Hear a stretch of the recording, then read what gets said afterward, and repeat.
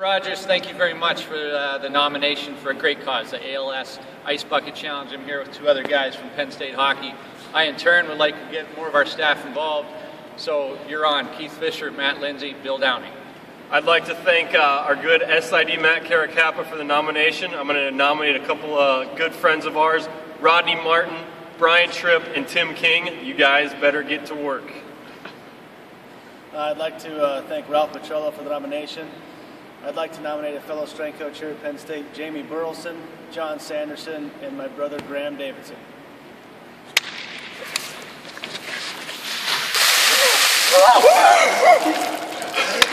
Woo!